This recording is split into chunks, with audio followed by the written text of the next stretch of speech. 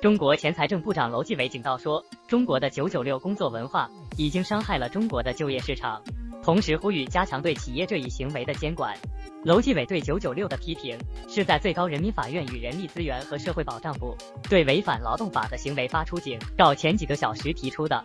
最高人民法院发表了一则通知，裁定企业要求员工遵守常见但有争议的“九九六”时间表是非法的。楼继伟在新浪财经举办的线上 ESG 全球领袖峰会上说，虽然许多中国互联网公司将九九六视为对员工的福报，但这显然违反了中国的劳动法，破坏了工作与生活的平衡。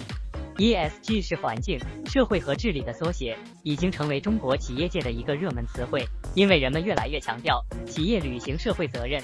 他说，如果没有适当的监管，大家都会采用九九六，这将减少就业机会，对社会有害。阿里巴巴创始人马云是九九六最坚定的支持者之一。他曾表示，这样的时间表帮助阿里巴巴和腾讯等科技巨头成长为今天的样子。但是后来，马云又说，通过强迫员工加班来获利的公司是愚蠢的，注定要失败。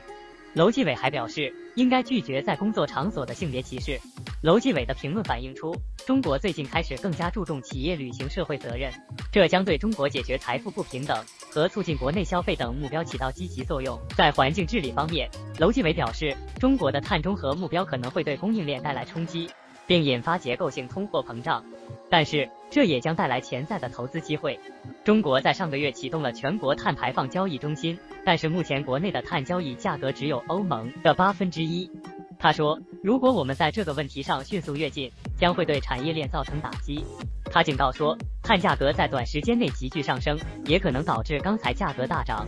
可以想象，这将推动结构性通货膨胀。但是，他也承认中国仍然需要在某个时候与国际标准接轨。我们应该警惕发达国家利用气候变化问题，利用碳关税和碳配额定价来实现贸易保护。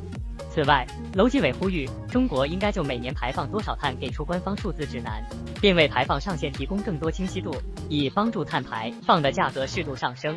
在钢铁和工业生产方面，中国最近取消了出口退税，并提高了钢铁的出口关税。楼继伟表示这是好的举措。他说，这可以对冲商品价格的上涨，并有助于防止一些国家利用碳关税和碳配额定价来打压我们的贸易。现在订阅编辑实验室。与最值得信赖的商业信息保持同步。